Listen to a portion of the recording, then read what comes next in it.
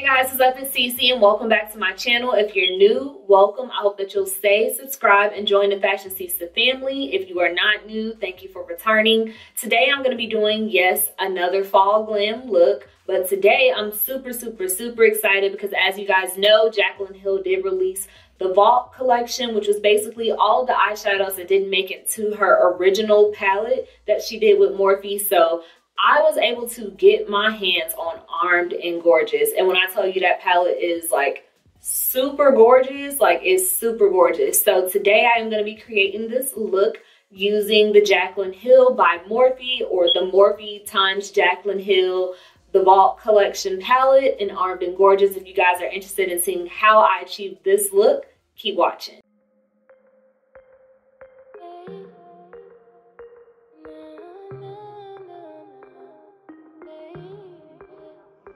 What you see, what you see when, when you're looking at me with your eyes wide closed. See what you see, what you, yeah. What you see, what you see when, when you're looking at me with your eyes wide closed. Don't pretend you understand. You know there's thing you thought you did then,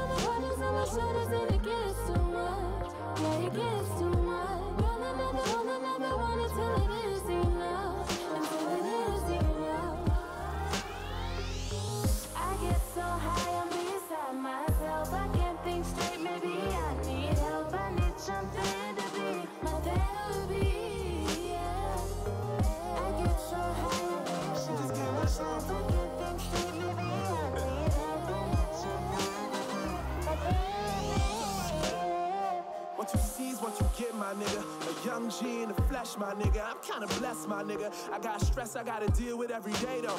In between these horns and a halo, what more do I gotta say, though? On this plane to St. Lucia, contemplating my future.